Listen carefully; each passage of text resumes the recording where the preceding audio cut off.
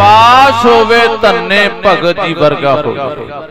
ਐਡਾ ਵੱਡਾ ਭਰੋਸਾ, ਇੰਨਾ ਵਿਸ਼ਵਾਸ ਤੇ ਗੁਰਮਖੋ, ਅੱਜ ਉਹ ਧੰਨੇ ਦੀ ਬਾਣੀ ਜਿੱਥੇ ਗੁਰੂ ਗ੍ਰੰਥ ਸਾਹਿਬ ਨੂੰ ਮੱਥਾ ਟੇਕਦੇ ਹੋ, ਉੱਥੇ ਧੰਨੇ ਭਗਤ ਨੂੰ ਵੀ ਮੱਥਾ ਟੇਕਦਾ ਹੈ। ਗੁਰੂ ਸਾਹਿਬ ਨੂੰ ਪੂਜਨੇ ਹੋ ਉੱਥੇ ਸੰਤ ਬਾਬਾ ਤਰ ਸਿੰਘ, ਸੰਤ ਬਾਬਾ ਬਲਵਾਨ ਸਿੰਘ ਜੀ ਜਿਹਨੂੰ ਬਾਣੀ ਕਹਿੰਦੀ ਹੈ ਸਾਧ ਕੀ ਮਹਿਮਾ ਵੇਦਨਾ ਉਹ ਸਾਧੂ ਨੇ ਉਹ।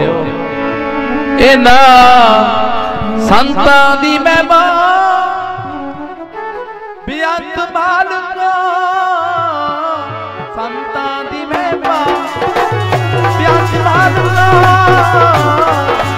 ਸੰਤਾਂ ਮਹਿਮਾ ਹੈ ਬੇਅੰਤ ਮਾਲਕਾ ਸੰਤਾਂ ਦੀ ਮਹਿਮਾ ਹੈ ਬੇਅੰਤ ਮਾਲਕਾ ਸੰਤਾਂ ਦੀ ਮਹਿਮਾ ਹੈ ਅੰਦਰ ਮਾਲਕਾ ਸੰਤਾਂ ਦੀ ਮਹਿਮਾ ਹੈ ਬੇਅੰਤ ਮਾਲਕਾ